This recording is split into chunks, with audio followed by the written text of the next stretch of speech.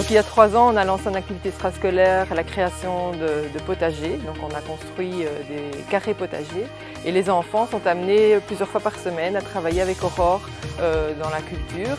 L'idée c'est de sensibiliser les enfants au circuit court. Donc en fait, ils euh, apprennent comment évoluent les légumes, ils les plantent et puis après ils les consomment. On a de la salade, des tomates, des fraises, des oignons, de l'ail, euh, un peu toutes sortes.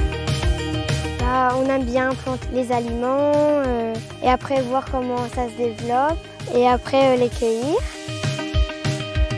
Notre objectif aussi, c'est d'amener les adultes, donc leurs parents, chez nos producteurs locaux. Jurbise est une commune qui compte beaucoup de producteurs locaux. Et donc, par exemple, La Roquette, qui produit des légumes euh, et qui vend sur le terrain de production. Donc, c'est assez sympathique de se rendre compte aussi comment ça fonctionne chez un professionnel.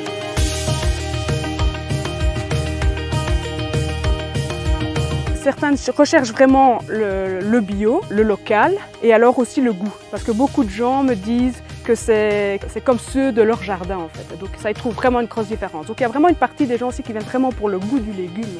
Je suis ingénieur civil de formation. J'ai travaillé pendant 10 ans à Bruxelles et puis ben, à un moment donné, j'ai voulu euh, changer de métier, retrouver vraiment quelque chose qui avait du sens pour moi parce qu'en fait ce que je faisais n'avait pas du tout de sens. Et, donc euh, voilà, mon idée ça a été de, me reconvertir en maraîchère bio. Je voulais que ce soit bio absolument. Euh, ça, c'était vraiment dans mes valeurs.